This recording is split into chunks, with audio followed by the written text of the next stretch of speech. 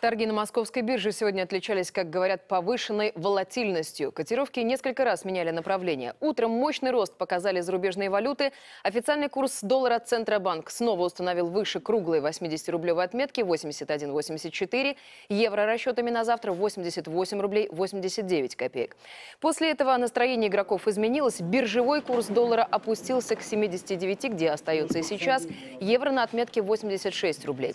Нефть в течение дня тоже падала до 29 долларов за баррель, но сейчас снова около 31.